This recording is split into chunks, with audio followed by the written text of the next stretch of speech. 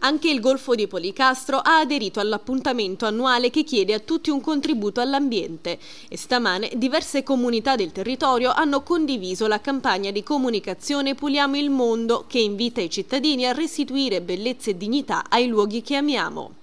A Capitello, per esempio, un gruppo di volontari ha ripulito la spiaggia in compagnia del sindaco e del vice sindaco e al termine del riassetto ecco che cosa è stato trovato. Dei resti di legno di una struttura balneare trascinati a riva da una mareggiata dei giorni scorsi, niente di più. Il bagnasciuga di Capitello è risultato integro e inviolato. I rifiuti non hanno contaminato la spiaggia. Analoga situazione si è registrata anche a Villammare, dove a scendere in campo, oltre al vice sindaco e agli assessori comunali sono stati soprattutto i piccoli studenti che muniti di guanti e sacchetti si sono impegnati per il ritrovamento di possibili oggetti inquinanti e per liberare l'arenile dall'eventuale presenza di spazzatura.